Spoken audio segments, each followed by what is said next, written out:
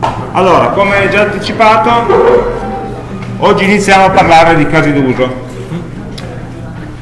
Casi d'uso che sono una delle possibili rappresentazioni per eh, i requisiti funzionali o per una buona parte dei requisiti funzionali perché in realtà non si possono applicare a tutti i requisiti funzionali ma solo quelli che coinvolgono l'interazione con l'utente quindi in qualche modo siamo all'interno del documento dei requisiti di cui abbiamo parlato giovedì scorso e eh, in particolare no, quella che avevamo nella nostra ipotetica scaletta no, di documento dei requisiti avevamo indicato punto 3 l'elenco dei casi d'uso supportati dal sistema Mm? Quindi questo punto 3 in generale potete leggerlo requisiti funzionali di sistema, nel nostro caso i requisiti funzionali li modelliamo attraverso questa notazione dei casi d'uso, che vedremo sarà composta di due metà, di due parti. Una prima notazione grafica, eh, per andare a individuare quali siano i casi d'uso e descriverli a, livelli, a, diversi livelli di dettaglio, eh, almeno due, che chiameremo summary e user goal, e poi eh, alla quale si affiancherà poi una notazione testuale, eh, una narrativa eh, che serve a descrivere meglio come si svolge il caso d'uso. Mm? Ma andiamo con ordine, partiamo dall'inizio. I casi d'uso quindi vanno a mettersi, ad aggiungersi no, ai diagrammi e ai modelli che già abbiamo iniziato a costruire, cioè i diagrammi concettuali per rappresentare i dati e diagrammi delle attività per i processi, a questi aggiungiamo appunto i casi d'uso. I casi d'uso li abbiamo scelto perché tutto sommato una, eh, tra le varie diciamo così, formulazioni no? che sono adatte ad esprimere i requisiti funzionali è ehm, molto, relativamente intuitiva, relativamente facile da comprendere. No? Come sempre, dietro un'apparente semplicità c'è poi la complessità, ma l'abbiamo già visto anche nei diagrammi di attività, nei modelli concettuali, a un livello superficiale li può comprendere anche l'utente, ricordiamoci sempre che il documento dei requisiti deve essere comprensibile almeno nella parte iniziale dagli utenti, ma poi in realtà contengono molta più informazione di non sembra. Eh? Sono eh, chiaramente cose che sono state introdotte, quindi parla dell'inizio degli anni 90, hm? eh, come, come primi tentativi, e poi eh, nel percorso di formulazione dell'UML sono state poi eh, assorbite e inserite anche nell'UML e quindi hanno acquisito una connotazione object oriented come tutto l'UML che lavora per ereditarietà, per classi eccetera ehm, potenziando chiaramente il formalismo che era stato ehm, proposto all'inizio mm. eh, l'idea era quella all'epoca no, già di iniziare ad avere degli ausili visuali no, per aiutare le fasi di modellazione e questo si basa sulla definizione, sul concetto di caso d'uso o use case. Che cos'è il caso d'uso? È uno dei modi in cui il sistema può essere usato da parte dei suoi utenti, detto in parole povere. Cioè il sistema informativo promette ai propri utenti che questi utenti potranno fare una determinata operazione. Quindi non è il singolo bottone che posso schiacciare, eh? è un comportamento significativo per l'utente che il sistema deve svolgere. In realtà non, non c'entrano solo gli utenti nella definizione dei casi d'usi, ma c'entrano anche gli stakeholder, come sono indicati qua un caso d'uso è il sistema che si lascia utilizzare da un utente per il beneficio beh, a volte dell'utente stesso ma a volte di qualcun altro no? di, un, di, uno stakeholder che può essere diverso dall'utente stesso no? eh, se tu vai a pagare l'autostrada col bancomat oppure col telepass tu sei l'utente ma chi ne trae un beneficio non sei tu utente, perché tanto tu comunque paghi, eh? è eh, magari chi ha, l'autostrada e eh, diciamo così, riesce a gestire un numero maggiore di passaggi con, una, con un numero minore di persone che, che devono poi gestire il pagamento manuale. Quindi non sempre l'utente che usa il sistema è la persona, o l'insieme di persone o il gruppo, che ne trae beneficio, che quindi sono gli stakeholder. Quindi dobbiamo sempre tenere presente i due punti di vista. Chi ne trae beneficio, tendenzialmente cerchiamo di includere anche l'utente tra questi, e l'utente stesso, e non sempre gli stakeholder sono utenti direttamente del sistema. Um, quindi noi descriviamo che cosa fa il sistema in risposta a un bisogno, a una richiesta, a una necessità di azione di un utente. L'utente in questo contesto lo chiamiamo attore primario. Chiamiamo primario perché a un certo punto salteranno fuori anche gli attori secondari, ma potrebbe essere semplicemente l'attore. La, la terminologia normale è attore primario. L'attore primario è un utente che in un determinato istante inizia un'interazione col sistema con lo scopo di raggiungere un suo obiettivo. Voglio stampare un certificato. Mm? Allora, dal momento in cui dico voglio stampare il certificato, al momento in cui ho il certificato in mano, io articolo una serie di interazioni con il sistema, io utente col sistema, finalizzata a quell'obiettivo specifico, ottenere quel certificato. Questo è un caso d'uso. Stampo un certificato non significa faccio un clic, significa scelgo la funzione giusta, scelgo il tipo di certificato, lo scarico, lo stampo, eccetera, eccetera. Quindi una serie di passaggi, una serie di interazioni durante i quali l'utente e il sistema si scambiano informazioni. Insomma, il sistema fa vedere all'utente qual è l'elenco di certificati possibili, l'utente ne sceglie uno, il sistema gli fa anteprima, l'utente conferma, eccetera, eccetera. Adesso possiamo immaginarci in modi diversi. Tutte queste interazioni di per sé non sono significative una per una. Cioè il fatto che l'utente a un certo punto tra i vari eh, certificati ne scelga uno, quello non è per l'utente un obiettivo. Se non è che mi pongo come obiettivo, ah senti, adesso accendo il computer così scelgo un certificato da un elenco. No, se non siamo malati questo non è una cosa che ci poniamo come obiettivo.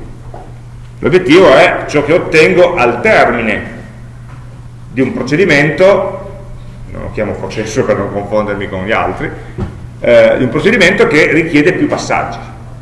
Allora, tutto questo è un unico caso d'uso. Visto dal punto di vista dell'utente, non gli interessa più di tanto se c'è un bottone, se ce ne sono due, se è giallo, se è verde, ma quali sono i propri obiettivi che lui riesce a soddisfare, o che meglio, che il sistema gli permette di soddisfare grazie alle funzioni che il sistema offre. Mm? Quindi dobbiamo cominciare a pensare a un sistema che eh, soddisfa l'utente in varie modalità. Quali sono le varie cose che posso fare? E devo provare a mettermi dal punto di vista dell'utente, dal punto di vista dell'utente che ha un bisogno, una necessità, una richiesta. Non so come altro definire, io dico spesso di senso compiuto, cioè qualcosa che abbia senso, non eh, vado sull'home page eh, non è un'azione, distinguiamo la singola azione, la singola interazione, il singolo click, la singola selezione rispetto a, al motivo per cui viene fatta. Quasi mai viene fatta fine a se stessa. Questo è un po' il, eh, il livello a cui ci dobbiamo porre. Quindi un caso d'uso non è ehm, facendo l'esempio della didattica, no? seguendo quello dei certificati, un caso d'uso non è gestisco la mia carriera sul portale della didattica, troppo ampio, quella al massimo è un'area applicativa. Cosa vuol dire? Cosa posso fare? Beh, posso richiedere una tesi, posso richiedere un certificato, posso modificare il carico didattico, posso iscrivermi a un esame, eccetera, eccetera. Le cose che posso fare, le funzioni che il sistema mi offre e che per me hanno un significato. Posso cambiare la password, Ciascuno di queste, di questi posso, di cose che posso fare, richiedono una ben determinata procedura. Quindi non, nessuna di queste si fa in un clic solo ma è una sequenza di, di clic clic, di interazioni diciamo più in generale, che però è finalizzata a uno scopo. Quindi il caso d'uso inizia quando l'utente decide che vuole fare qualcosa e termina quando l'utente può andare a fare altro perché è soddisfatto, quando l'utente ha raggiunto il suo obiettivo, quando il sistema ha permesso all'utente di raggiungere il proprio obiettivo, ovviamente. Okay? Poi, questo è un obiettivo, diciamo così, personale e individuale dell'utente. Il fatto che l'utente persegua questo obiettivo e lo ottenga usando il sistema informativo è di beneficio anche agli stakeholder. Eh? Però gli stakeholder in qualche modo hanno un interesse più distaccato. Se io ho 100 utenti che fanno quella funzione, sono contento perché ne ho avuto un risparmio, ne avrò un guadagno, avrò maggiore efficienza, avrò maggiori informazioni, però non, lo stakeholder non è lì presente mentre l'utente interagisce, non sta lì col fiato sul collo, no? essenzialmente. Ha interesse a che quel caso d'uso si svolga, si svolga bene e gli utenti in qualche modo raggiungono i propri obiettivi. Um, quindi ciò che deve fare il sistema è quello di permettere agli utenti di svolgere questi obiettivi. Noi descriveremo il sistema in termini di elenco dei casi d'uso che il sistema supporta. La, la settimana scorsa nel definire i requisiti funzionali abbiamo detto che cosa il sistema fa, no? rispondere alla domanda cosa. Adesso noi ci stiamo dando un modo per descrivere questo che cosa. Il che cosa il sistema fa lo decompongo in una serie di obiettivi che gli utenti si possono dare e quindi eh, soddisfare interagendo col sistema. Mm? Um, quindi nel descrivere questo, io implicitamente descrivo come gli utenti lavorano col sistema stesso e quindi come, che cosa il sistema dovrà fare, quali sono poi le operazioni che il sistema deve compiere. Quindi in qualche modo, se io dico che il sistema mi permette di stampare il certificato, o meglio, parlando di use case, cerco di mettermi dal punto di vista dell'utente, se dico che l'utente può usare il sistema per stamparsi un certificato da solo, sto in qualche modo implicando che il sistema, adesso questo cambio punto di vista, dovrà essere in grado di eh, avere una serie di modelli di certificati possibili, poter permettere all'utente di scegliere, avere la possibilità di generarli in PDF, farteli scaricare, una certa serie di cose. Quindi dicendo che cosa il sistema permette all'utente di fare, oppure che cosa l'utente può fare col sistema, sono frasi equivalenti. Sto anche in qualche modo implicando quali sono le eh, caratteristiche tecniche, le funzionalità tecniche che il sistema deve possedere. E quindi in qualche modo stiamo decidendo quali sono i requisiti funzionali, le funzioni che deve avere, le pagine che deve avere, le, i calcoli che deve fare, hm? le interrogazioni che deve fare. Quindi questa è un po' una, eh, una vista di alto livello semplificata dal punto di vista dell'utente di quelli che sono appunto, i requisiti funzionali sul progetto di un sistema. Il fatto che sia dal punto di vista dell'utente mi obbliga in qualche modo a non, ehm, a non descrivere degli aspetti che sono puramente tecnologici, non anticipare il progetto del sistema. Non dico come fa il sistema se sto parlando se, il soggetto è l'utente, sto descrivendo cosa fa l'utente. E quindi ciò che mi interessa, l'unica cosa che mi interessa nel descrivere un caso duro del sistema è qual è l'interazione tra utente e sistema. Poi come il sistema a casa sua, nelle sue macchine, nei suoi server, porti avanti l'operazione, non lo descrivo perché non è qualcosa che l'utente vede. È detto tra le righe e chiaramente poi il progettista tecnico riuscirà a coglierlo ma non è l'interesse del caso d'uso. Ehm, quindi i casi d'uso rappresentano dal punto di vista funzionale i comportamenti del sistema. Alcuni aspetti però non si possono modellare con i casi d'uso. No? Ad esempio, in un caso d'uso, le interfacce tra il sistema informativo ed altri sistemi informativi, quindi lo scambio di dati, di interfacce, che non coinvolgono l'utente, perché sono scambi o interazioni tra sistemi informativi diversi, tra macchina e macchina, e non lo posso descrivere così. Il caso d'uso è un utente che ha un bisogno. E allora potrò descrivere tutte le funzionalità che il sistema ha che soddisfano i bisogni dell'utente, il quale può soddisfarli interagendo col sistema. Ma dopodiché il sistema magari deve fare anche delle altre cose che so, il sistema, ne dico una facile, eh, ogni 24 ore deve fare un backup dei propri dati su un altro server. Questo è il requisito funzionale, una cosa che il sistema deve fare, una cosa. Che cosa deve fare? Fare backup. Però non lo posso descrivere dicendo un utente, non c'è un utente presente alle 3 di notte mentre il sistema attiva la procedura di backup automatica. Quindi queste, queste interazioni che il sistema ha con altri sistemi informativi fanno parte dei requisiti funzionali perché sono cose che il sistema deve fare e se no è incompleto. Ma non si possono esprimere come casi d'uso perché non c'è nessuno che sta usando il sistema mentre lui svolge quella funzione. Non è una funzione esposta all'utente.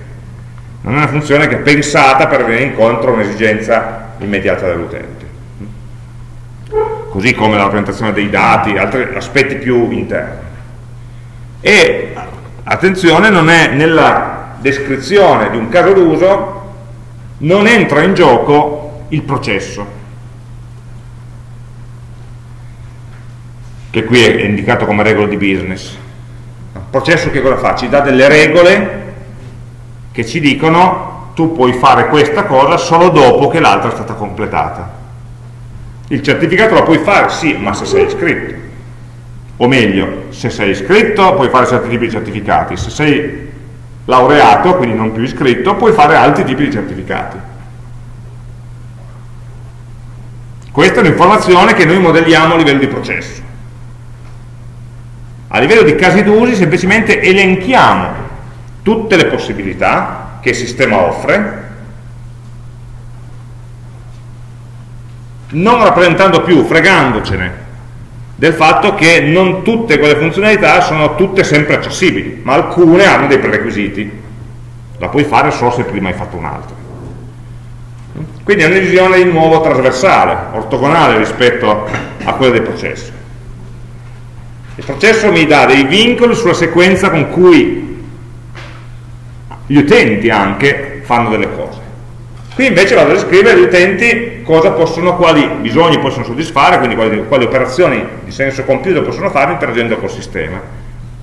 Però eh, è da una vista più esaustiva, più completa. Mm? Ovviamente poi ciascuno caso d'uso sarà accessibile, cioè lo potrò fare solo se il processo che mi porta fino a quel punto, no? se il, token, il mio token riesce ad arrivare fino al punto in cui devo attivare quella funzione. Quindi sono collegate le due cose ovviamente. Come tutto qua, stiamo sempre parlando dello stesso sistema informativo che è uno, lo stiamo guardando da tanti punti di vista diversi un po' per volta, ma dobbiamo sempre mantenerli collegati tra di loro nella nostra mente. Mm? Quindi, con questa premessa, questa è la definizione che diamo di caso d'uso, un caso d'uso descrive un insieme di interazioni orientato verso un obiettivo, interazioni tra attori esterni e il sistema. Il sistema considerato, il sistema che stiamo modellando. Tra attori e sistema, o attore e sistema, a volte o molto spesso è uno solo, l'attore. Quindi ogni caso d'uso parla del sistema, parla di un attore che interagisce col sistema, parla delle interazioni che questo attore ha con il sistema e in particolare queste interazioni devono essere orientate a un obiettivo dell'utente, dell'attore.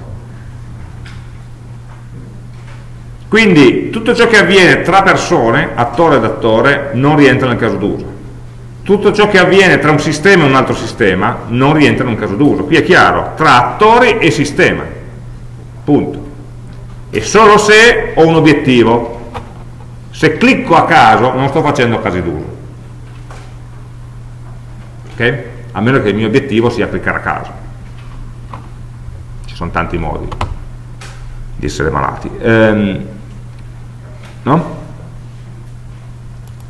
Allora, nel descrivere un caso d'uso, innanzitutto dobbiamo identificare chi è l'attore o chi sono gli attori e tra questi sicuramente ce n'è uno che chiameremo attore primario.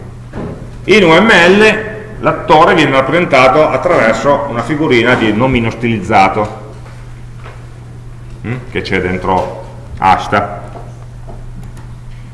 L'attore interagisce col sistema in un caso d'uso il sistema tende ad essere sottinteso, non lo devo rappresentare. L'utente interagirà col sistema in tanti modi diversi, interagisce pigiando un bottone, usando un computer, usando un tablet, inserendo una tessera, passando sotto un metal detector. Le modalità di interazione sono tante. In qualche modo il sistema dovrà avere delle interfacce utente che vanno no, a, a, intercettare questa interazione, a permettere all'utente di svolgere l'interazione. Noi indicheremo il sistema o parte del sistema solamente quando il sistema sarà molto complesso e allora vorremmo dire guarda questo insieme di casi d'uso è gestito da, dal modulo A e quest'altro insieme è gestito dal modulo B. Allora andiamo a identificare i sottosistemi con un rettangolo essenzialmente nel diagramma. Ma nella maggior parte dei casi è, è, è sottinteso. E questo utente ovviamente arriva con un obiettivo. Quindi dovete proprio immaginare una persona io lo, mi aiuto a immaginare una persona in pena proprio dentro di sé si sta rodendo perché vuole questo certificato no? e, e fino a quando non lo ottiene non è soddisfatto. Allora va, svolge una certa serie di azioni e poi alla fine raggiunge l'obiettivo. Nel momento in cui raggiunge l'obiettivo si libera da un peso. Non ci pensa più, non gli interessa più, ce l'ha. Ehm, aneddoto storico sapete perché i bancomat quando prelevate i soldi sputano prima la tesserina e dopo i soldi? Eh? Perché le persone, perché le persone dimenticavano la tesserina dentro? Perché tu vai al bancomat per prendere i soldi, quello è il tuo obiettivo. E quindi mentalmente no? psicologicamente proprio nel momento in cui hai i soldi in mano, per te l'obiettivo è raggiunto. Il fatto che ci sia ancora la tessera bancomat dentro è, un, è a livello razionale, lo sai, ci ragioni, ma emotivamente tu quel compito l'hai fatto. Adesso da quell'istante lì eh, pensi ad altro, pensi magari a non farti fregare i soldi, metterli in tasca e poi andare via.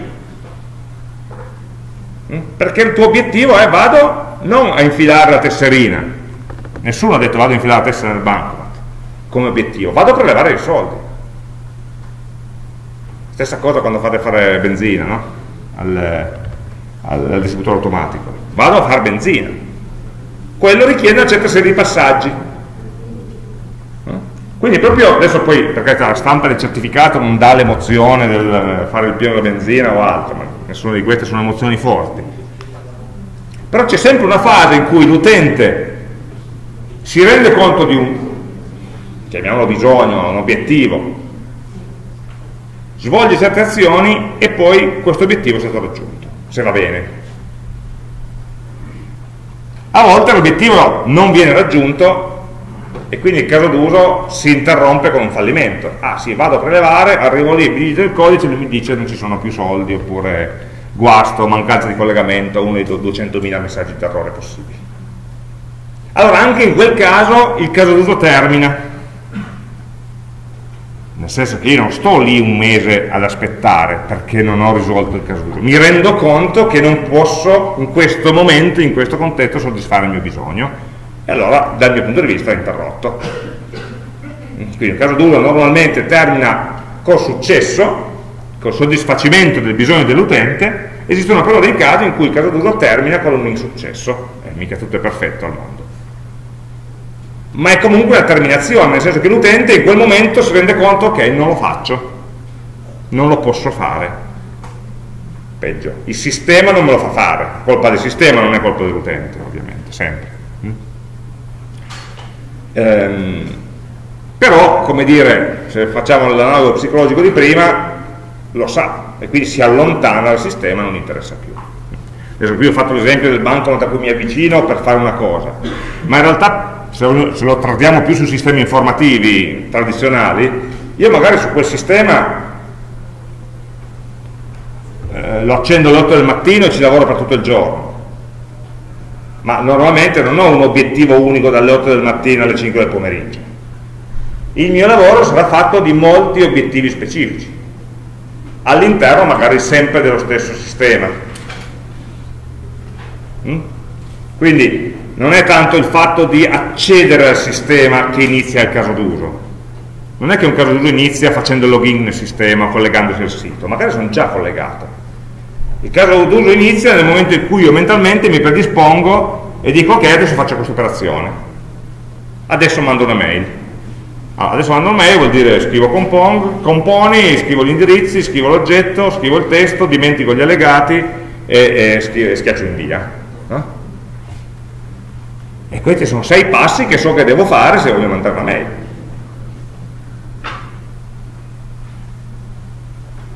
Mm? Magari la mail ce l'ho aperta da sei ore, ma mi, prima cosa stavo facendo? Stavo leggendo mail, lo stavo rispondendo, lo stavo cancellando, o le stavo archiviando, cioè in ogni momento so che cosa voglio fare. Okay? E il sistema mi deve supportare in questo. Ricordiamo che la terminologia è sempre la stessa, il sistema deve, l'utente può. Okay? Il sistema deve essere schiavo dell'utente. I casi d'uso si concentrano su ciò che avviene nell'interazione tra i due. Cioè io non posso in un documento di specifica modellare o descrivere che cosa pensa l'utente, no? o che cosa fa, o che cosa deve fare, e mica lo posso costruire. Non voglio neanche modellare che cosa fa il sistema, perché quello sarà oggetto della fase di progettazione. Però immaginate di essere tra l'utente e il sistema e filmare e registrare tutto ciò che avviene. Tutti gli scambi di informazioni. Li chiamiamo interazioni. Le informazioni che l'utente fornisce al sistema e le informazioni che il sistema fornisce all'utente. Quindi un caso d'uso è definito in questo contesto, un utente che ha un obiettivo, è definito da quali sono le interazioni che il sistema permette all'utente di fare, che l'utente può fare. Se nella videata non c'è un bottone, l'utente non lo può schiacciare, per dire una cosa banale. E quindi il fatto che l'utente possa fornire quel dato, schiacciare quel bottone, fornire quell'informazione, deriva dal fatto che il sistema glielo, glielo permette, gli prepara quel tipo di interazione, cioè ogni interfaccia utente permette all'utente di fare alcune cose e non altre. L'interfaccia utente di questa cattedra mi permette di fare salire e scendere i due teli del proiettore, o tutti e due o nessuno. Non è previsto che io faccia scendere solo questo e non l'altro, per fortuna, è sensato. Quindi c'è un caso d'uso, accendi, il proiettore e quindi fa scendere i teli, c'è il caso d'uso spegni, non c'è il caso d'uso accendilo parzialmente. Non lo posso fare. Il sistema non è pensato per permettermi di farlo. Mm?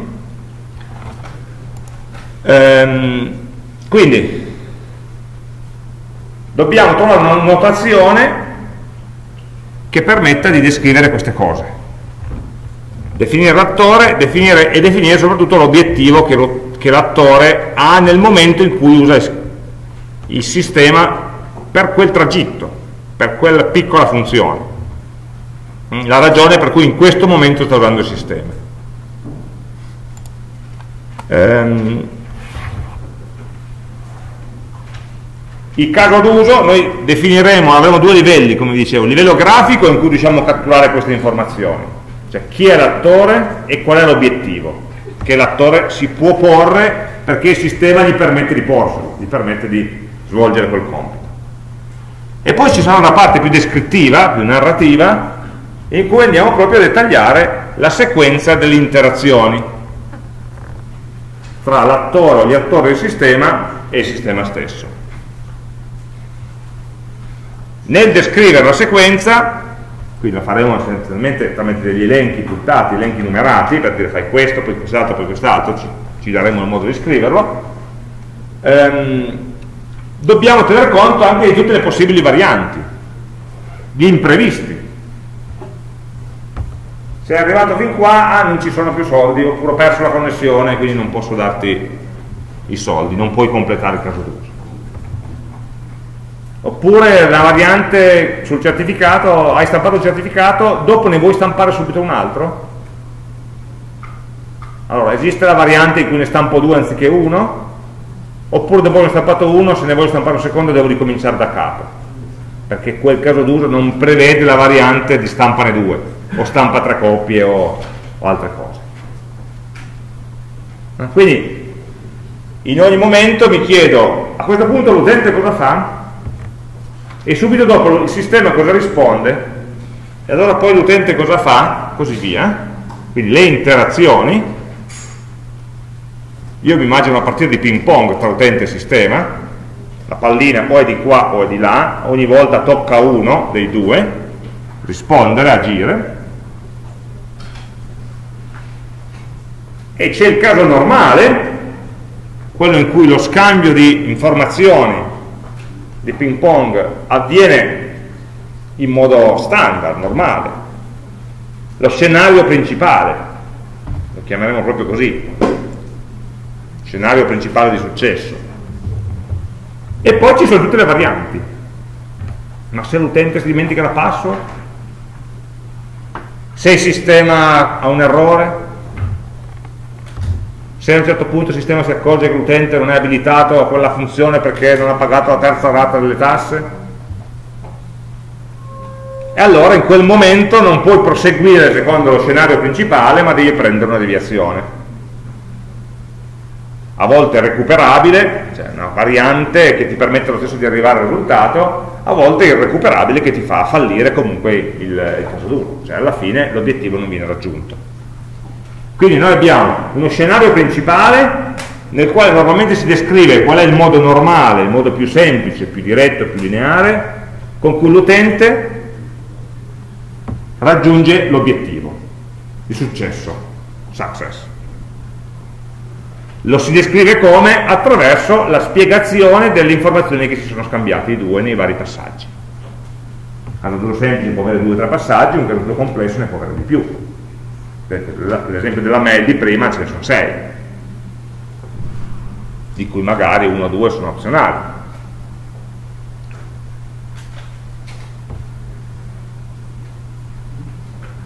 Questo è lo scenario principale che arriva al successo. Poi ci sono una serie di scenari collaterali delle deviazioni, delle eccezioni o delle estensioni delle parti opzionali, delle parti ripetute o degli errori che possono capitare, dovuti che cosa? A un comportamento vuoi dell'utente o vuoi del sistema che non è quello previsto per il caso normale, perché l'utente a metà ha cambiato idea,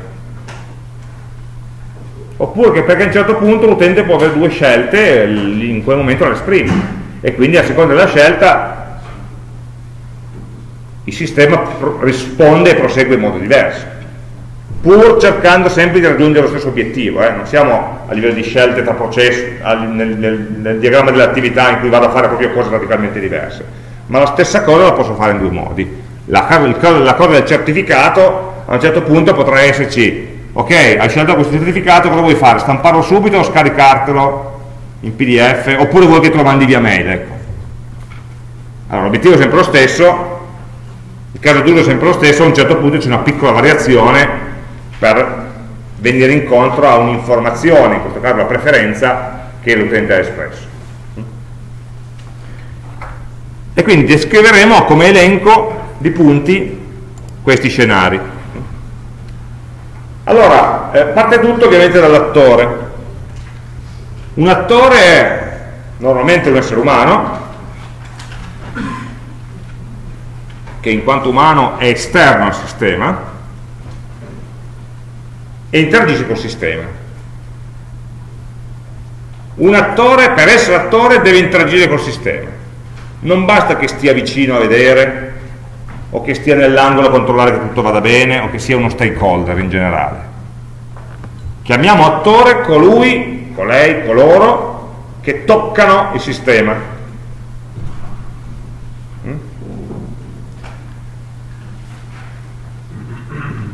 Poi ovviamente il sistema non è pensato nella fase specifica per dire quali possono essere gli, obiettivi di Giuseppe, quelli di Antonio, quelli di Francesco e quelli di Luigi.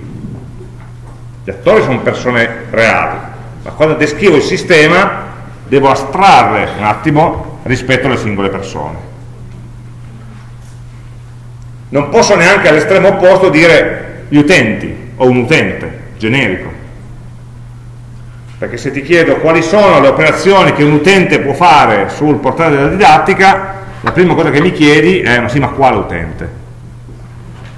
Un studente iscritto? Un studente che si vuole iscrivere? Un studente laureato? Un professore? La segreteria? Sono tanti, tante persone diverse, ciascuna delle quali svolge un ruolo. In funzione del proprio ruolo, che gli viene in qualche modo garantito dalla password, dalle credenziali che ha, ha accesso a certe funzioni e non altre, sullo stesso sistema informativo. Cioè lo stesso sistema informativo ovviamente deve offrire funzioni per tutti. Scusate, l'ho detto male il sistema informativo deve, deve poter offrire tutte le funzioni possibili e immaginabili a qualunque tipo di utente ma il sistema informativo deve anche sapere quali utenti hanno accesso a queste funzioni, questi casi d'uso, e quali altri utenti hanno accesso ad altri casi d'uso. Visto dal punto di vista dell'utente, è come se ogni utente vedesse solo un pezzo del sistema, anzi così è, vede solo un pezzo del sistema il pezzo che il sistema gli permette di vedere grazie sua, ai suoi permessi. Allora, eh, non ci interessa in fase di modellazione conoscere gli utenti uno per uno, ma ci interessa conoscere quali sono i loro gruppi, gruppi di utenti, gruppi uniformi di utenti che possono fare tutti la stessa cosa. Noi li chiamiamo ruoli. Un attore gioca un certo ruolo, svolge, interagisce con il sistema in quel momento con un certo ruolo, col ruolo di studente. E quindi in quel ruolo gli attori con il ruolo di studente possono fare certe cose, accedere a certi casi d'uso. Mm? Ehm, quindi disegniamo l'omino, ma quell'omino rappresenta uno qualunque di tanti utenti veri, reali, solamente nel momento in cui assumono quel determinato ruolo. Il sistema come fa a conoscere che un utente ha un certo ruolo? Beh, perché in qualche modo la password che gli presenta, le credenziali che gli presenta, lo inquadrano in un determinato ruolo. Eh, la, la, relazione tra singoli utenti e ruoli è più complessa nel senso che la stessa persona fisica potrebbe avere in momenti diversi anche ruoli diversi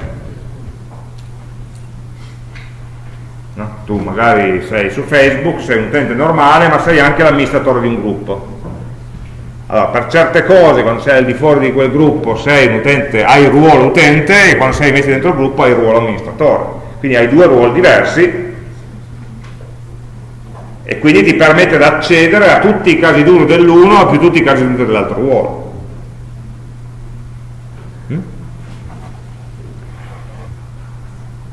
Quando installate un programma in Windows a un certo punto viene fuori la finestra di protezione che dice questo qua esegui come amministratore, questo comando lo vuoi eseguire come amministratore, quindi temporaneamente assumi un ruolo di amministratore anziché quello di utente normale e quindi permetti al sistema di fare cose diverse rispetto a prima, che prima invece non avresti potuto fare.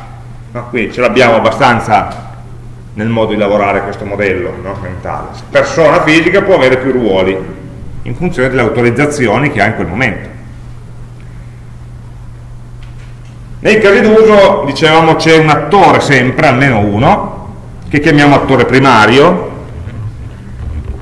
che è colui che in generale ha l'obiettivo, si dà l'obiettivo.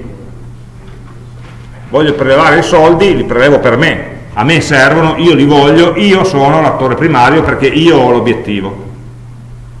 Voglio stampare il certificato, idem. In moltissimi casi d'uso c'è un attore solo. Cioè, i sistemi informativi quasi sempre sono pensati per essere usati da una persona per volta. Proprio anche come interfaccia, fisicamente, non è che ci stiamo in due sulla tastiera, no? ci diamo comitate sui denti. Ma in alcuni casi potrebbe essere necessario che un determinato caso d'uso richieda la collaborazione, la compresenza di la compresenza non, non, non necessariamente fisica nello stesso luogo, ma sicuramente sullo stesso sistema informativo, di più di una persona. Quindi potremmo anche avere degli attori secondari che facilitano, aiutano o intervengono per permettere la conclusione del caso d'uso. A un certo punto ho bisogno che un altro prema un bottone. Dobbiamo essere in due per fare quell'operazione. Di solito uno dei due è quello che ha l'obiettivo e l'altro è qualcuno che nel suo ruolo chiaramente in quel momento eh, svolge un passaggio. Attenzione che qui siamo sempre nello stesso caso d'uso. Quindi se io immaginate un processo, non so, quello di richiesta di tesi, no? fatto sul portale della didattica. Allora, tu inserisci una proposta di tesi, l'avete fatto, no, di, scusate, la domanda di laurea eh, è più attinente, l'avete fatto da poco, no? Inserisco la, la richiesta di potermi laureare, schiaccio invia, registra, poi il professore dall'altra parte la convalida, la conferma. Questo caso non è un caso di attore primario e attore secondario. Perché non siamo insieme sul sistema informativo. Nel momento, mettetevi dal punto di vista vostro, dell'obiettivo. Quando avete fatto la domanda di tesi qual era il vostro obiettivo? faccio la domanda. Quando tu hai schiacciato invia la domanda non so come si chiami quel bottone ed è a posto non sei rimasto davanti al computer in ansia aspettando che il professore schiacciasse il bottone in tempo reale, magari chissà dove era. Eh? Questa è una sequenza a livello di processo, questa qua del, della domanda di tesi. Un processo in cui un'attività, un'azione in cui è l'utente che fa la domanda, un'altra azione in cui il professore eh, mh, conferma la validità della domanda ma sono due azioni separate. Il token in mezzo può stare a mollo per delle ore o dei giorni. Così ragionavamo. Quando invece parliamo di casi d'uso sono cose che si devono concludere sul momento. Non esiste un caso d'uso che duri sei ore. Forse sì, non lo so, spero di no. Sono azioni, pacchetti di interazioni più limitati nel tempo. Quindi scambi di questo genere di responsabilità vanno bene a livello di processo, ma non più di caso d'uso. Il caso d'uso si deve concludere o con, un o, o con un fallimento o con un successo. Non può concludersi dicendo e adesso aspettiamo, perché se no ho messo male l'obiettivo, non è un obiettivo che posso concludere in un'interazione col sistema, in un solo caso d'uso. In una sessione di, di lavoro col sistema. Quindi l'obiettivo in quel caso è invio la domanda, punto. È un caso d'uso, corrisponde a un caso d'uso. L'attore secondario quindi è una persona che contestualmente, nello stesso tempo, nello stesso lasso di tempo relativamente breve, eh, interagisce anche lui con il sistema, se è un attore deve toccare il sistema, non basta che sia lì, sia presente o interagisca con l'utente, mi dia la pacca sulla spalla. o mi dia il modulo da firmare o mi metta un timbro. No, deve interagire anche lui col sistema. Con la stessa interfaccia mia o con una diversa, è uguale. Pensiamo quando pagate al supermercato. Siete in due che interagite col sistema no, se paghi in contante no, c'è solo il cassiere che interagisce col sistema se paghi col bancomat siete in due il cassiere e tu che digiti il PIN allora, in quel caso abbiamo un caso d'uso che è fare il conto, il cui attore primario è il cassiere, o la cassiera. Nel momento in cui si arriva al pagamento, se l'utente sceglie di pagare via bancomat, allora in quel momento l'utente è un attore secondario, il cliente, in questo caso il supermercato, è un attore secondario perché anche lui interagisce col sistema, schiaccia i suoi bei numerini. E il caso duro non si completa se tutti e due non fanno la loro parte. Se il cassiere non schiaccia i numeri giusti e se tu non digiti il pin giusto.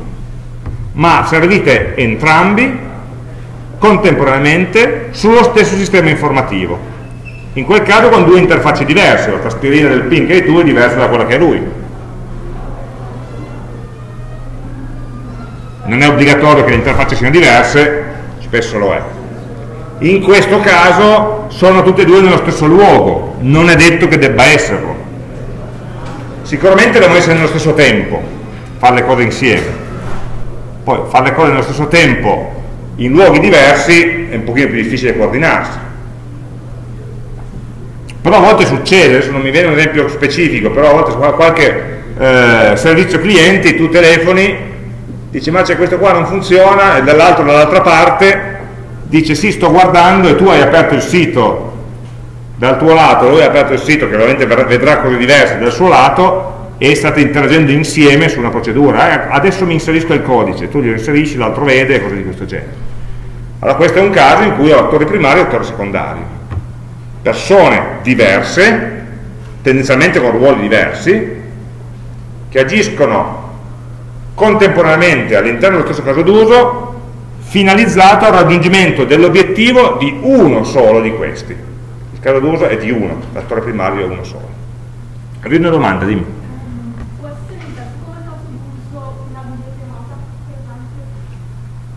Una videochiamata è un caso d'uso del sistema di videoconferenza.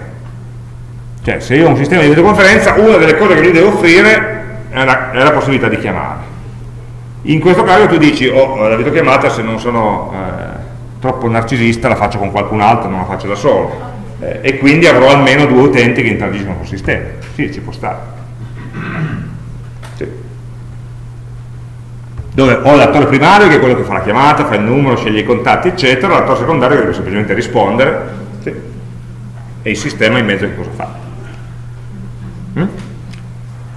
però sono rari nella maggior parte dei sistemi informativi che abbiamo l'attore diciamo, eh, il lavoro, lavorare con un sistema informativo è un lavoro di tipo solitario io davanti al computer, davanti all'interfaccia l'esempio del, dell'autostrada no? io vado in macchina, pago il casello è una persona che infila il bancomat o la, o la via card nella tesserina. Magari in macchina siete in cinque ma gli altri non sono attori secondari. Mm? neanche se il sistema informativo sa che sono lì. Perché se non interagiscono materialmente col sistema non li chiamiamo attori. Dimmi possono essere due attori primari se hanno un, uno, un gol comune e lo devono svolgere per forza insieme due attori primari non riesco a farmi venire in mente. In banca per un conto interessato e devono firmare insieme per eseguire un'operazione con un conto allora in quel caso lo ripeto solo per registrazione l'esempio potrebbe essere due persone che vanno in banca e devono aprire un conto cointestato. Quindi in quel caso non ce n'è uno che è più primario dell'altro secondo me quello è un caso duro dell'impiegato di banca però che lui deve fare aprire il conto e, e loro, i due correntisti, sono attori secondari perché poi è lui che fa la maggior parte del lavoro lo fa su un bisogno che non è suo, No? Non è che al mattino vede uno per strada e dice adesso vieni che apri un conto, perché io mi sento un bisogno dentro. Però lo fa su richiesta di persone che entrano, parlano con lui e dicono voglio aprire un conto. Questa è una comunicazione che non c'entra con i casi d'uso, non c'entra con i sistemi informativi, è al di fuori del sistema informativo. Quella comunicazione fa sì che l'impiegato a questo punto dica ok, volevo andare a prendere caffè ma so che sarò qua per i prossimi 20 minuti perché devo aprire il conto che richiede una serie di 94 passaggi alcuni dei quali coinvolgono anche gli utenti. Dimmi. Sistemi informativi dei videogiochi senza multiplayer sono più attori, addirittura il numero di attori varia in caso da partita a partita, hanno un obiettivo che è contrastante, giocano contro e quindi però comunque sono entrambi sono in due attori. Sono attori, in caso dei videogiochi multiplayer, quindi ho, ho, più persone che giocano in qualche modo lo stesso gioco, ciascuno da casa propria, sono tanti attori diversi, ognuno col proprio obiettivo. Non è che con, collaborano a un caso d'uso unico eh, tutti insieme, con, eh, sono, sono, sono, indipendenti, in realtà sono uno contro l'altro in quel caso lì. E se fossero in squadra?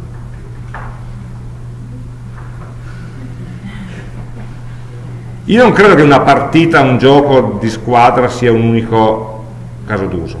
Eh, ad esempio i giochi di calcio, una partita si gioca in squadra, l'obiettivo è il gol.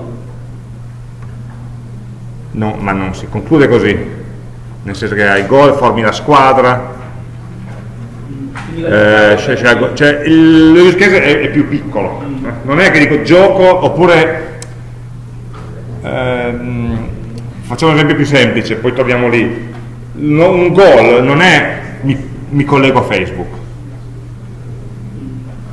no? quello è il contesto semmai, all'interno del quale si possono svolgere tanti goal separati, leggo, scrivo, rispondo, faccio like, eccetera, no? ogni, ogni, ogni, operazione di questo genere. Adesso Facebook è un esempio troppo semplice perché la maggior parte delle interazioni si risolvono con un clic, massimo due, no? scrivo, batto invio, cose del genere. Però, eh, quindi anche in un gioco multiplayer c'è il momento magari vivo della partita, allora uno potrebbe pensare di avere non, non riesco a vederlo come attori, eh, attori primari multiplici, ciascuno gioca, ha come obiettivo quello di guidare il proprio giocatore a fare il gol, lo vedrei così. Perché descrivo le interazioni che quell'attore fa col sistema. Il fatto che io possa tirare un calcio in quel momento non dipende da che cosa sta facendo l'altro. Okay? Quindi non sta collaborando al raggiungimento del mio obiettivo che è calciare la palla in porta. Um, vabbè, questo qua sono una serie di, di, domande che aiutano a identificare quali sono gli attori, però direi che ne abbiamo già parlato, ricordiamoci sempre tu, quali sono tutte le persone che interagiscono col sistema. Eh? Questo è il criterio base, deve interagire col sistema. Um, L'obiettivo, quindi dicevamo, attore, Obiettivo, che, che obiettivo si dà all'attore? Che è poi il motivo per cui il caso d'uso esiste. Eh, l'obiettivo deve essere qualcosa che abbia un certo valore, importanza per l'attore. Mm? Quindi ad esempio dicevamo prima, premo il bottone non è un goal, inserisco il pin non è un goal, prelevo i soldi è un goal, è un obiettivo. Mm? Ehm, gioco una partita online non è un obiettivo, è un'attività più complessa che al suo interno ha vari obiettivi, i quali tra l'altro sono regolati da un processo. Cioè, la partita inizia e finisce, poi ci sono i momenti in cui va a vedere punteggi, cambi la squadra, vendi i giocatori, e quindi in ogni momento a seconda del, del processo no, a cui è arrivato il sistema puoi fare certe operazioni piuttosto che altre. E puoi decidere di farle o come decidere di non farle. Quindi sono obiettivi che ti puoi porre oppure no. Mm? e ciascun obiettivo io in termini di tempo me lo immagino di qualche minuto. O meno mm? di solito. Ehm, c'è una certa relazione tra questi obiettivi che mi posso fare, che mi posso porre, e le azioni dell'activity diagram. Se un'azione, un'activity diagram dice che a un certo punto l'utente inserisce i propri dati anagrafici, quell'azione lì può corrispondere effettivamente a un caso d'uso. Quindi immaginiamo che un caso d'uso in qualche modo non è una relazione 1 a 1, eh? perché poi vedremo delle eccezioni. Però nei, nelle azioni che abbiamo descritto nel modello di processo e che ehm, richiedono l'interazione dell'utente, quelle, che non metteremmo nella colonna sistema informativo, ma mettiamo nella colonna dell'utente 1, utente 2, utente 3, eccetera, allora quelle generano, per sapere quali sono i casi d'uso andiamo a vedere lì. Partiamo da lì, poi non sono le stesse. Per varie ragioni. La prima ragione è che nei, nei processi noi abbiamo le colonne che chiamiamo responsabilità e qui li chiamiamo attori. No? Nel caso del processo l'importante è sapere di chi è la responsabilità che un'azione venga svolta nel caso del caso d'uso voglio sapere qual è la persona, qual è il ruolo, che vestito ha la persona in quel momento che la usa, non chi è responsabile affinché lui la faccia. No? Sono due punti di vista leggermente diversi. Così come un'azione potrebbe essere aggiorna il tuo profilo. Però aggiorna il tuo profilo può ehm, svilupparsi in molti casi d'uso diversi. Vuol dire aggiorna il profilo vuol dire cambio la password, oppure cambio l'immagine, eh, oppure modifico le informazioni, eccetera, eccetera, oppure collego un altro profilo social dando le credenziali, quello che volete, sono tutte operazioni che ricadono sotto un'azione aggiorna il tuo profilo, dove a livello di processo non mi interessa andare a distinguerle. Mentre livello di caso d'uso sì, perché l'utente può fare tante cose diverse, ciascuna abbastanza indipendente dalle altre e che si può concludere separatamente dalle altre. Quindi Normalmente l'obiettivo dei casi d'uso è più concreto, più specifico rispetto all'azione del processo. Però per definire quali sono questi obiettivi un buon modo è andare a vedere le variazioni del processo e chiederci, e qui l'utente questa cosa come la fa?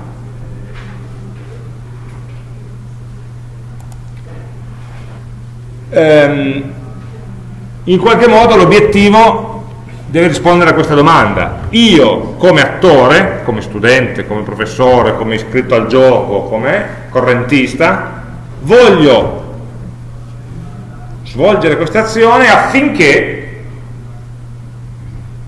dopo che ho svolto questa azione, abbia qualcosa in più di prima, abbia qualche valore, ho dei soldi in tasca in più, ho, ho, fatto, ho presentato questa domanda, ho il certificato pronto, eccetera. Quindi noi quando parlavamo del processo dicevamo mi interessa ciò che lascia traccia nel sistema. Sì. Nei casi d'uso questo lascia traccia anche nell'utente, anche se il sistema non lo può vedere.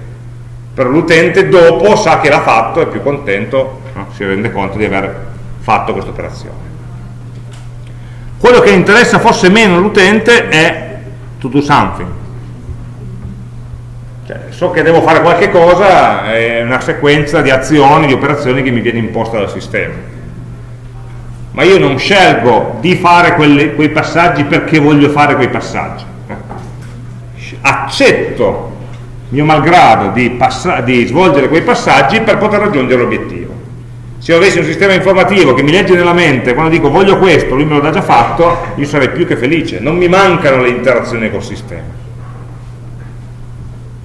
sono un male necessario per permettere a, quel, a quell'ottuso del sistema di sapere che cosa voglio e acquisire le informazioni che io ho ben note in mente ma lui poveretto non lo sa. Quindi il focus non è sulle azioni fatte dal sistema ma sul valore che c'è per l'utente. Questo è l'esempio classico del banco. Oltre ai, agli utenti dicevamo ci sono anche gli stakeholder che è importante ricordare, no? perché sono loro il motivo per cui il sistema informativo esiste. Sì, esiste per gli utenti, ma perché fornendo un servizio agli utenti miglioro qualche valore per i stakeholder. allora nella descrizione narrativa dei casi d'uso noi identificheremo a un certo punto gli stakeholder, tra i vari punti no, che dovremo elencare per dare una descrizione di un caso d'uso, uno dei punti da elencare sarà proprio gli stakeholder. Ma non confondiamoli semplicemente con gli, con gli eh, attori. Perché se lo stakeholder interagisce anche, a volte lo stakeholder e l'attore coincidono, a volte lo stakeholder può essere un attore secondario, a volte invece può essere semplicemente una persona interessata al buon esito ma non interviene nell'esecuzione del caso d'uso stesso in nessun modo. Um, ovviamente in qualche modo dobbiamo tenere presente nel, nello sviluppare il caso d'uso eh, qual è il beneficio che gli stakeholder possono averne. Cioè io sono interessato che questo venga fatto perché Qual è il mio beneficio? Allora, se per l'utente un beneficio immediato è il fatto di togliersi un peso dallo stomaco, ho risolto questo, uno stakeholder, che può includere anche l'utente, ha bisogno di avere un beneficio quantificabile maggiormente. Un altro, ehm,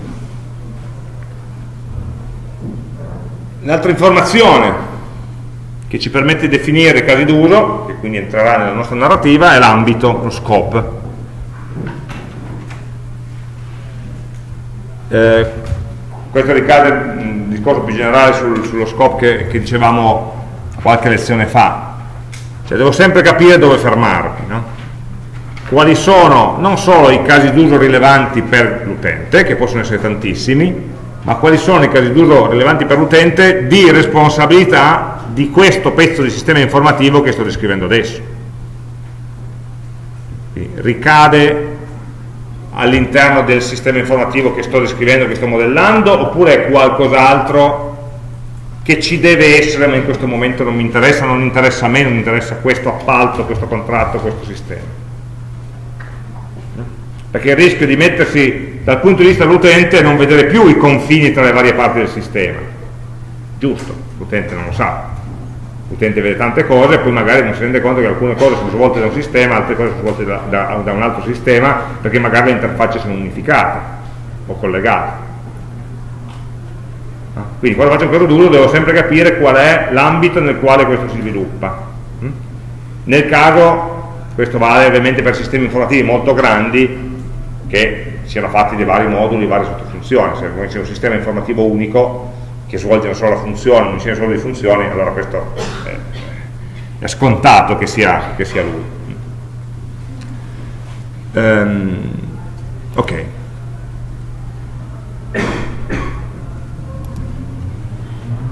Allora, qui saltiamo un attimo le modalità con cui definire lo scope che sommato per i tipi di sistemi informativi che abbiamo noi è meno importante. Ecco, volevo arrivare finalmente alla rappresentazione grafica dei casi d'uso, che è molto semplice. Ho un attore, ho un insieme di attori che sono rappresentati tramite quegli omini. Sotto l'omino metto la definizione del ruolo che assume quell'attore, quell'utente quell'utente in quel momento agisce come customer, come cliente e come cliente può accedere a questi tre casi d'uso. Ricordate la frase che diceva prima, io come cliente voglio fare delle cose per prelevare denaro, per visualizzare il saldo, per caricare il cellulare. Quindi ciò che scrivo in questo ovale, ciascun ovale rappresenta un caso d'uso, ciò che scrivo dentro questo caso d'uso è l'obiettivo che quel tipo di cliente, quel tipo di utente, di attore, si può porre nell'usare il sistema. Il mio sistema informativo ti permette di soddisfare questi tuoi bisogni. Quindi proprio grammaticalmente pensate la, alla frase io come cliente voglio fare questo, voglio e lasciamo sottintesa la parte devo interagire col sistema, devo fare questi passaggi, lasciamo, non ci interessa, ma ci interessa il perché li voglio fare. Quindi quali sono tutte le macroazioni di senso compiuto che il cliente in questo ruolo può compiere sul sistema. Eh, questo è ovviamente rappresentabile facilmente tramite, c'è un tipo di diagramma apposito che si chiama use case diagram, diagramma dei casi d'uso, come vedete ogni tipo di diagramma ha il suo bagaglio di iconcine diverso, e nel caso dei diagrammi di casi d'uso l'iconcina principale è quella dell'omino, attore 0, attore 1 e così via. E poi posso indicare i vari casi d'uso a cui diversi attori possono avere accesso. Quindi, che ne so, posso avere lo studente, posso avere il professore,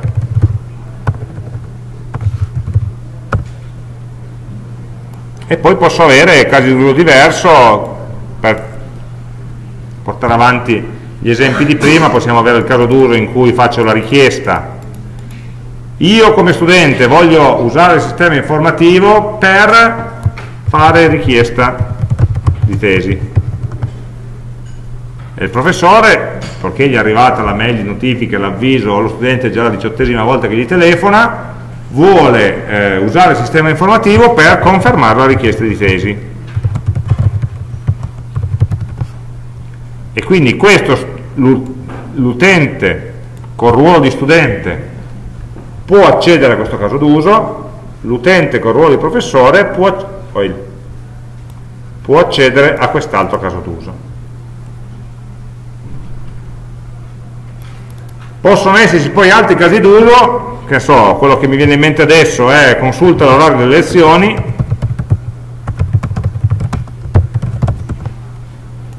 che possono essere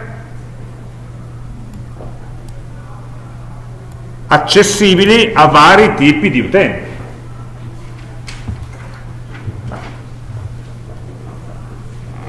Mm? E quindi questa è una freccia, è una linea semplicissima, il cui significato è gli utenti di questo tipo hanno accesso a questi casi d'uso. Gli utenti di questo tipo hanno accesso a questi casi d'uso, individualmente, separatamente l'uno dall'altro il fatto che questo consulto orario di lezioni sia collegato a due ruoli diversi, due attori diversi, significa che sia gli utenti con, una, con ruolo studente, sia gli utenti con ruolo professore possono entrambi accedere a quella funzionalità. Separatamente, non, non sono attori multipli, oggi non lo vediamo come modelliamo gli attori multipli, lo faremo più avanti, tanto per non confondersi troppo. Quindi i diagrammi di questo genere sono molto semplici. Se il sistema fosse piccolo, semplicemente dobbiamo elencare il tipo di utenti che abbiamo, elencare tutte le funzioni espresse come obiettivi che gli utenti ci possono dare e collegarli dicendo chi può fare che cosa.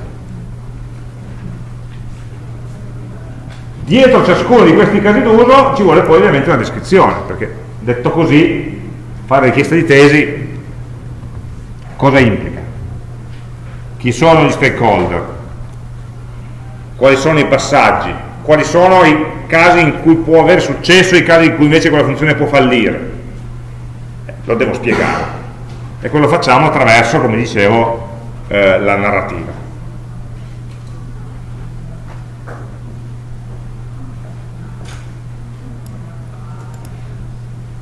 Eh, già che ci siamo, che abbiamo aperto Asta, volevo solo eh, aggiungere un, eh, un, elemento che poi sulle slide c'è più avanti, ma approfittiamo adesso che ci sta giusto in questi pochi minuti, sugli attori.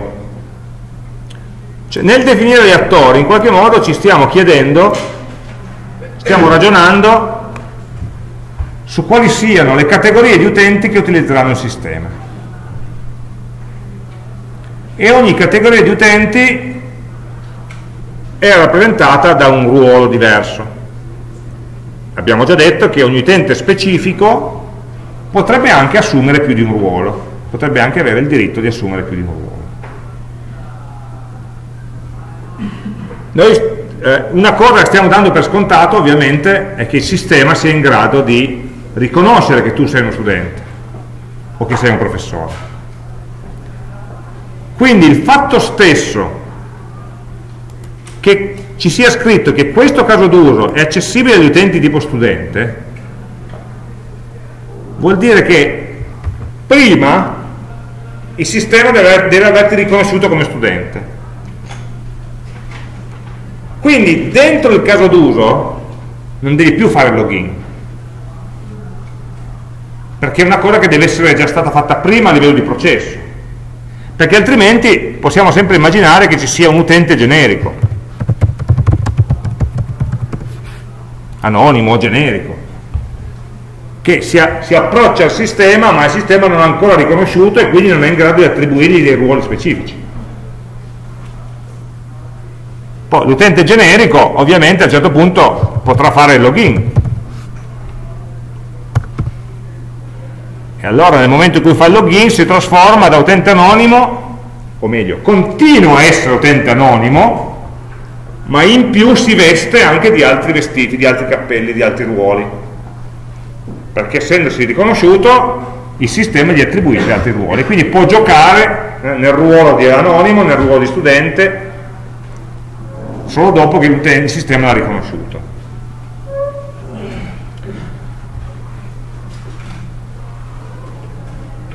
Quindi abbiamo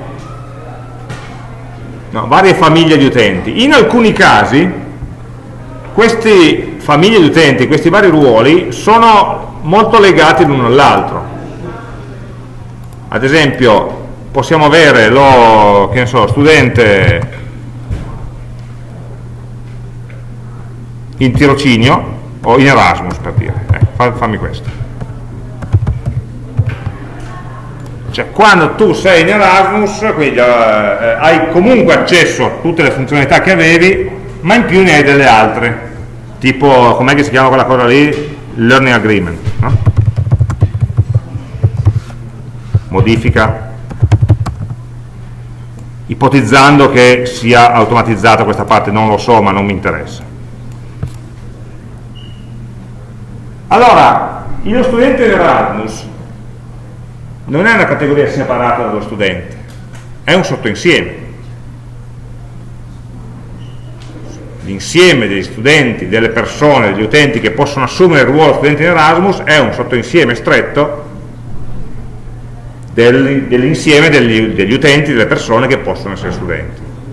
Allora, in questo caso lo possiamo anche indicare conviene indicarlo attraverso il simbolo di generalizzazione. Lo stesso che usavamo per le classi, l'ereditarietà. Lo studente Erasmus è uno studente, è un tipo particolare di studente. E quindi con una freccia sola io capisco che questo qui eredita tutto ciò che può fare l'altro. Quindi lo studente Erasmus fa questo, ma automaticamente, poiché è uno studente, è un tipo di studente, appartiene a tutto insieme di studenti, può anche fare richiesta tesi, può anche consultare l'orario delle lezioni, può fare tutto ciò che fa studente, perché lui è uno studente e in più ha delle proprietà in più particolari, che gli permettono di fare delle cose in più. Quindi quando si vanno a definire quali sono i ruoli del sistema, spesso si fanno dei, delle piccole tassonomie, dei piccoli alberelli di utenti e ruoli usando la generalizzazione, utente registrato, utente premium, utente normale e si collegano in questo modo. E poi si attribuiscono i vari casi d'uso ciascuno al proprio livello di, di permesso di privilegio. Questo livello di notazione ovviamente lo sviluppiamo meglio poi attraverso gli esempi. Oggi siamo qua.